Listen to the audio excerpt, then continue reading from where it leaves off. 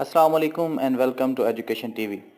Education TV पर हम तैयारी कर रहे हैं lecture education S S education head master head mistress और S S T general B S seventeen के टेस्ट की। ये हमारा लेक्चर नंबर ट्वेंटी थ्री है। इससे पहले हम फिलासफी ऑफ़ एजुकेशन और एजुकेशन टेस्टिंग एंड मेयरमेंट इन दो बुक्स को ऑलरेडी कंप्लीट कर चुके हैं। अभी जो हमारी बुक चाह रही है, वो है एजुकेशनल टेस्टिंग एंड मेयरमेंट हम इंशाल्लाह इसी तरह एजुकेशन के सारे सिलेबस को एक सीक्वेंस में और डिटेल में कंप्लीट करेंगे। आप लोग इसी तरह एजुकेशन टीवी से जुड़े रहिए और सीखते रहिए। एजुकेशनल साइकोलॉजी में जो हमारा आज का टॉपिक है, वो है फंक्शनलिज्म आज के टॉपिक में हम बात करेंगे कि फंक्शनलिज्म क्या है। इसके मेजर एक्सपोनेंट्स या मेजर फंक्शनलिस्ट कौन कौन से हैं? फंक्शनलिज्म इमर्ज कैसे हुआ? इसके मेजर बिलीव्स क्या हैं? और फंक्शनलिज्म की एजुकेशनल कंट्रीब्यूशंस क्या हैं? और इन पर हम बात करेंगे कि लिमिटेशंस क्या हैं? फंक्शनलिज्म की। सबसे पहले है कि फंक्शनलिज्म है क्या? फंक्शनलिज्म एक ऐसा स्कूल ऑफ़ थाट है जो फोकस करता है study of function of mind ये इस बात के ऊपर फोकस करते हैं कि माइंड का फ़ंक्शन क्या है। Functionalism emerge as a reaction against structuralism अगर आपने हमारा लास्ट लेक्चर लिया है तो उसमें हमने शुरू में इंट्रोडक्शन ऑफ़ साइकोलॉजी में ये बात की थी कि साइकोलॉजी जो टर्म है, ये बड़ी वेग है। अनक्लियर है और बहुत से साइकोलॉजिस्ट ने इसको डिफरेंट तरीके से डिफाइन किया है। तो स्ट्रक्चरलिस्ट इसको डिफाइन करते हैं कि psychology is the study of the structure of mind तो फंक्शनलिस्ट कहते हैं psychology is the study of function of mind तो इस तरह से ये इसके अगेंस्ट इसके रिएक्शन में स्कूल ऑफ़ थाट जो है, ये इमर्ज हुआ है। स्ट्रक्चरलिज्म के अगेंस्ट फंक्शनलिज्म जो है, ये इमर्ज हुआ है। इन लोगों ने इस बात को डिनाउंस किया कि स्ट्रक्चर ऑफ़ माइंड की बजाय फ़ंक्शन ऑफ़ माइंड को स्टडी करना ये साइकोलॉजी है। Functionalism sought to explain the mental processes in a more systematic and accurate manner इनका जो फोकस था वो ये था कि मेंटल जो प्रोसेसेस हैं, इनको एक सिस्टमेटिक और एक्यूरेट वे में एक्सप्लेन किया जाए। इसको हम अमेरिकन स्कूल ऑफ़ साइकोलॉजी भी मज़ीद इसकी एलेबोरेशन होगी जब हम इसको, इसके बिलीफ्स मेजर बिलीफ्स को पढ़ेंगे। अगर मेजर फंक्शनलिस्ट की बात की जाए तो विलियम जेम जो है, इसको फादर ऑफ़ फंक्शनलिज्म बोला जाता है। विलियम जेम जो है, इसको फादर ऑफ़ अमेरिकन साइकोलॉजी भी बोला जाता है। आप लोगों से क्वेश्चन ये है कि साउथ अमेरिकन साइकोलॉजी का फादर किसे बोला जाता है? आपने इस क्वेश्चन का आंसर मुझे कमेंट सेक्शन में बताना है। इसके बाद अगर दूसरे मेजर एक्सपोनेंट्स की बात की जाए तो जी स्टैनले हॉल है, ये भी अमेरिकन साइकोलॉजिस्ट है। जेम्स रोलैंड है हरवे कौर है। जॉन एंजल है और एंड पर है जॉन डेवी। जॉन डेवी जो है, ये भी फंक्शनलिस्ट ही था। अब देखा जाए तो ये सारे जो साइकोलॉजिस्ट हैं, ये अमेरिकन हैं। इस वजह से फंक्शनलिज्म को अमेरिकन स्कूल ऑफ़ साइकोलॉजी भी बोला जाता है। फंक्शनलिज्म इमर्ज कैसे हुआ?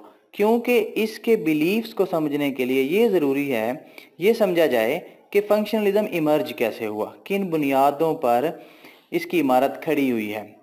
तो फंक्शनलिज्म जो है, वो इसकी बुनियाद असल में बनी थी विलियम जेम्स की बुक जो उसने 1890 में पब्लिश की थी और उस बुक का नाम था प्रिंसिपल ऑफ़ साइकोलॉजी इस बुक में इसने कहा कि कॉन्शियसनेस और एक्सपीरियंसेस जो होते हैं, हम इनको ब्रेक डाउन स्मॉल पार्ट्स में नहीं कर सकते। क्योंकि स्ट्रक्चरलिज्म की अगेंस्ट ये स्कूल ऑफ़ थॉट है। और स्ट्रक्चरलिस्ट ये कहते थे कि हमारा माइंड जो है, वो तीन कंपोनेंट से मिलकर बना है। वो तीन कंपोनेंट्स कौन कौन से हैं? अगर आप ये जानना चाहते हैं तो हमारा लेक्चर नंबर ट्वेंटी टू जो है, वो आप सुन लें। उन्होंने ये कहा, जो हमारा विलियम जेम्स है साइकोलॉजिस्ट है, इसने ये कहा कि कोई भी ऐसा तरीकाकार नहीं है कि जिसके ज़रिए हम आइडियाज़ थॉट्स और सेंसेशंस को सेपरेट कर सकें। क्योंकि सेपरेट तभी होंगे जब उनका वो कंपोनेंट्स हैं। तो कंपोनेंट्स की स्टडी है ही नहीं कंपोनेंट्स होते ही नहीं है माइंड के। बात ही फ़ंक्शन की है तो इस वजह से उन्होंने कहा कि हम इन चीज़ों को सेपरेट ही नहीं कर सकते। इसके बाद विलियम जेम जो है, ये एक्चुअली इन्फ्लुएंस था डार्वन के थेरी ऑफ़ एवोल्यूशन के साथ। डार्वन की जो थेरी ऑफ़ एवोल्यूशन है, वो बेस करती है सर्वाइवल ऑफ़ फिटेस्ट के।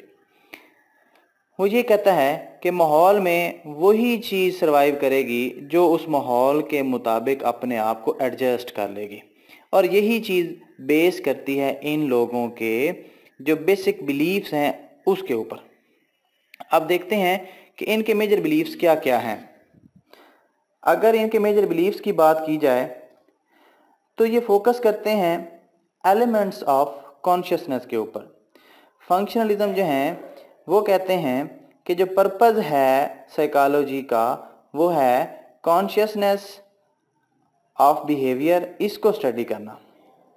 They focus on the purpose of the consciousness and behaviour कि कॉन्शियसनेस और बिहेवियर का पर्पज़ क्या है? ना कि इस चीज़ की स्टडी करना कि कॉन्शियसनेस और बिहेवियर जो है, वो किन चीज़ों से मिलकर बने हैं। ये इस, इसके ऊपर बेस नहीं करते, बल्कि ये कहते हैं कि फ़ंक्शन क्या है पर्पज़ क्या है कॉन्शियसनेस और बिहेवियर का। Function of mind is more important than the structure of mind ये लोग कहते हैं कि हम, अगर हमने माइंड को पढ़ना है तो हमें यह समझना होगा कि माइंड का फ़ंक्शन क्या है, ना कि स्ट्रक्चर ऑफ़ माइंड को। इन्होंने ये कहा कि किस तरह से ह्यूमन जो हैं, वो अपने माहौल में अडेप्ट हो जाते हैं, क्योंकि सर्वाइवल ऑफ़ फिटेस्ट की इनकी इनकी बुनियाद जो है वो वो थेरी है। इस वजह से इन, इन्होंने बेस किया कि ह्यूमन जो हैं, वो अपने माहौल में कैसे एडजस्ट होते हैं। इन्होंने कहा कि जो ह्यूमन माइंड होता है, ये इवॉल्व भी करता है और ग्रो भी करता है। क्योंकि इन लोगों की ये बेस जो थी, वो सर्वाइवल ऑफ़ फिटेस्ट की थी कि जिस चीज़ का आप इस्तेमाल ज़्यादा करेंगे, वो आपकी, आपके पास रहेगी। जिस चीज़ का आप इस्तेमाल करना छोड़ देंगे तो उसकी जगह नई चीज़ जो है वो जन्म लेगी। तो इन्होंने भी ये कहा कि जो ह्यूमन माइंड है, जो इसका फ़ंक्शन आप यूज़ करेंगे, वो तो सर्वाइव करेगा। लेकिन जिसको एबसेंट हो जाएगा, जो फ़ंक्शन वो फिर ख़त्म हो जाएगा। तो दोज फोकस इन्होंने ये इस बात पर फोकस किया था कि जो हमारा फ़ंक्शंस है माइंड का जो फ़ंक्शन है, ये स्टिंक्शन भी है और क्रिएट भी करता है न्यू फ़ंक्शंस को। एजुकेशनल कंट्रीब्यूशंस क्या है? अगर एजुकेशनल कंट्रीब्यूशंस की बात की जाए तो इन्होंने जॉन डेवी को बहुत ज़्यादा इन्फ्लुएंस किया था।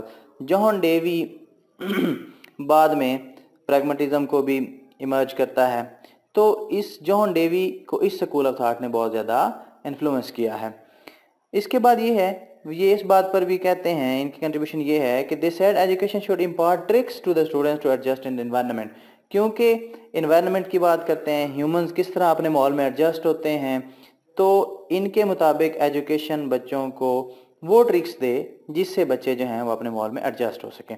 They united theoretical concept of teaching with the practical learning technique सिर्फ़ थेरी की बात नहीं होनी चाहिए एजुकेशन में, बल्कि प्रैक्टिकल होना चाहिए। यानी कि प्रैक्टिकल लर्निंग के ऊपर इन्होंने बात की। इन्होंने ये भी कहा कि जो करिकुलम है और जो टीचिंग मेथड है, ये फंक्शनल होने चाहिए।